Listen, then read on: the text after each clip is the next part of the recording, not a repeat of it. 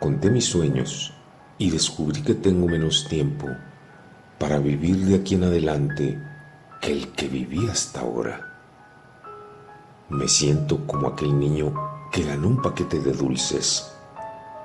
Los primeros los comió con agrado, pero cuando percibió que quedaban pocos, comenzó a saborearlos profundamente.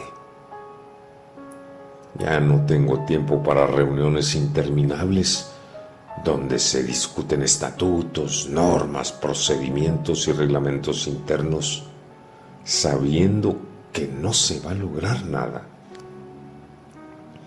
Ya no tengo tiempo para soportar a personas absurdas que a pesar de su edad cronológica no han crecido.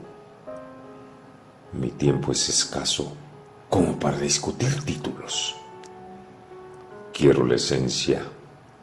Mi alma tiene prisa, sin muchos dulces en el paquete. Quiero vivir al lado de gente humana, muy humana que sepa reír de sus errores, que no se envanezca con sus triunfos, que no se considere electa antes de la hora, que no huya de sus responsabilidades, que defienda la dignidad humana y que desee tan solo andar del lado de la verdad y la honradez.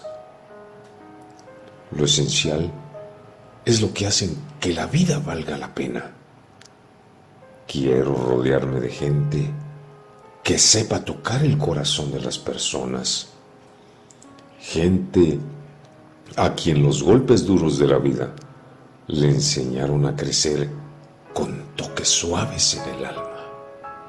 Sí, tengo prisa, tengo prisa por vivir con la intensidad que solo la madurez puede dar.